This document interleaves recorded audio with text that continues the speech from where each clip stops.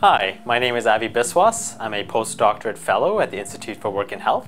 My name is Peter Smith, and I'm a senior scientist at the Institute for Work and Health. And I'm the author of a study published in 2015 that found serious health effects of prolonged sitting. Our team looked at 47 studies and found people who sit for more than 8 hours a day have higher chances of having certain types of cancer, heart disease, diabetes, as well as higher chances of dying from these diseases. Most worrying, the chances of getting type 2 diabetes is nearly twice as high for people who sit for very long periods of the day.